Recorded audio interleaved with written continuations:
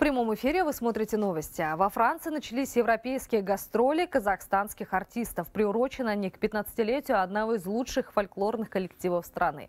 Первое выступление состоялось в Париже в историческом зале. Прошло на с аншлагом и многократными вызовами на бис.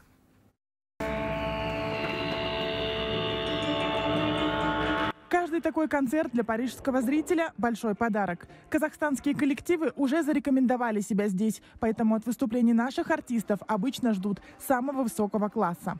В этот гастрольный тур с фольклорной группой «Туран» отправился обладатель титула лучшего тенора Европы Медет Шутабаев и магистрант Шанхайской консерватории Талгар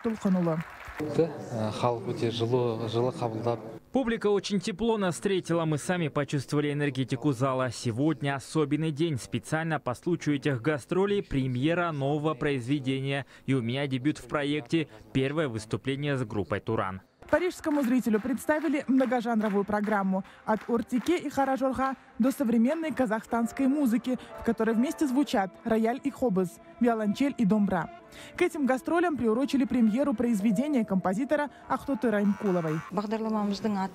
Bridge of Times. Наша программа называется Bridge of Times. Различные песни народные, сегодняшняя эпоха. От музыки прошлых веков к современной такой мостик перекинули. Мост музыки, искусства, дружбы. Вот такой смысл мы сегодня вложили в наш концерт.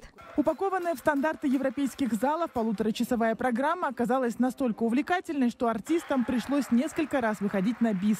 Зал не хотел отпускать музыкантов со сцены.